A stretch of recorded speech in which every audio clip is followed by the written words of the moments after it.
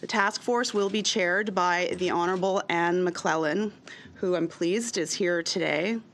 And the members of the task force, uh, many of whom were recommended by provincial and territorial governments, uh, are as follows. The vice chair is Mark Ware, uh, Catherine Zahn, Perry Kendall, Marlene Jesso, Raf Souccar, Susan Boyd, Barbara von Tigerstrom, and George Chow.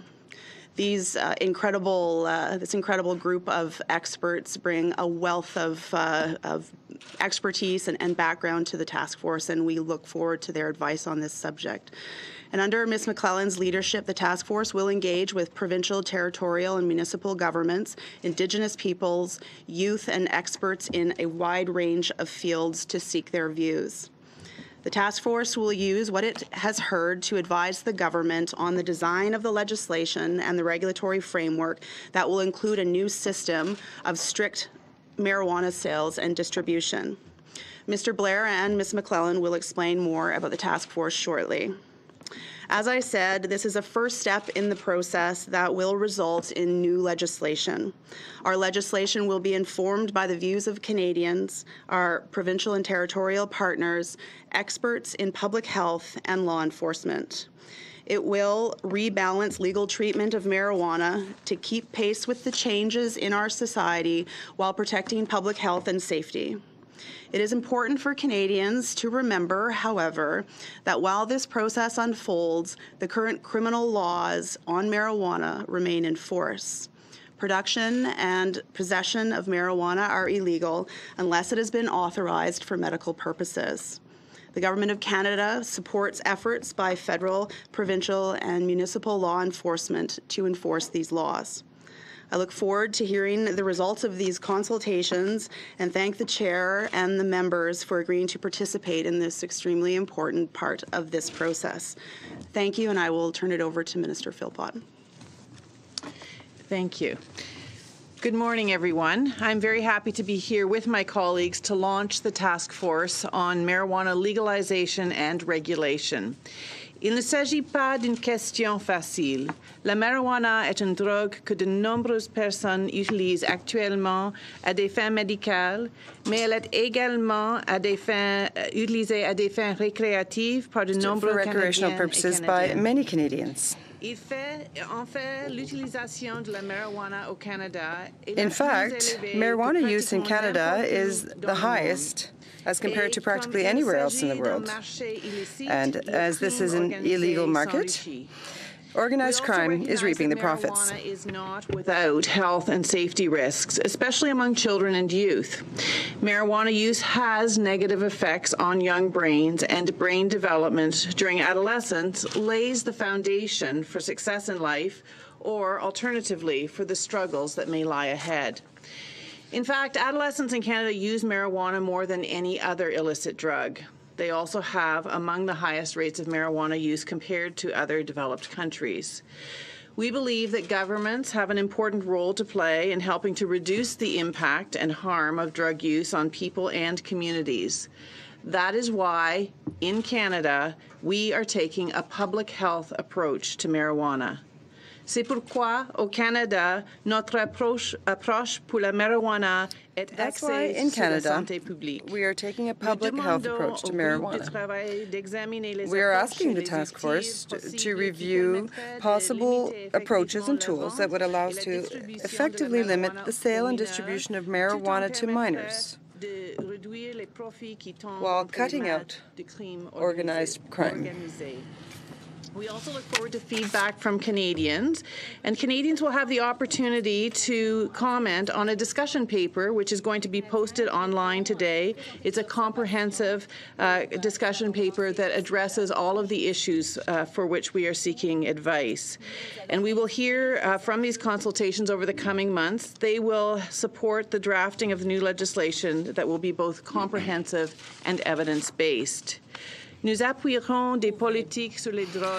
We, we support drug policies that are based on solid scientific evidence and that take into account public health in order to inform, raise awareness amongst, and protect Canadians.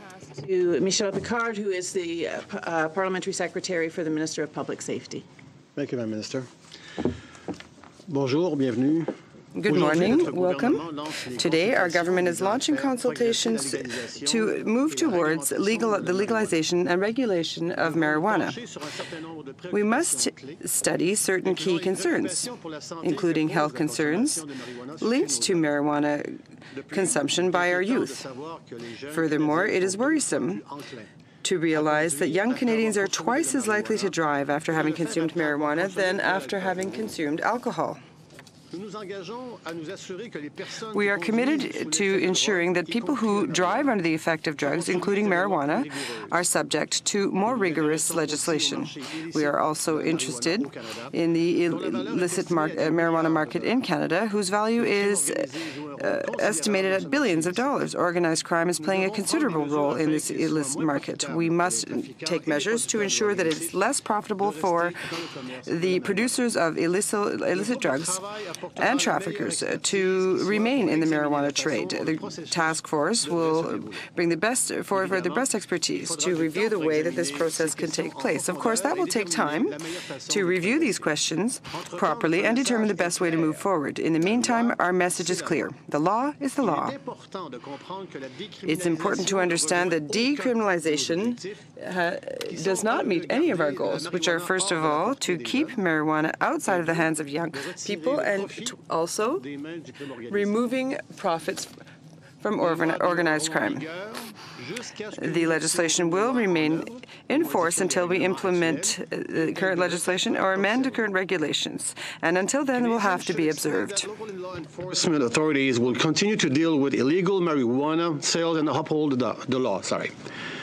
It also means that for those Canadians who need marijuana for medical reasons, they will continue to access it through the legal system that Health Canada has in place.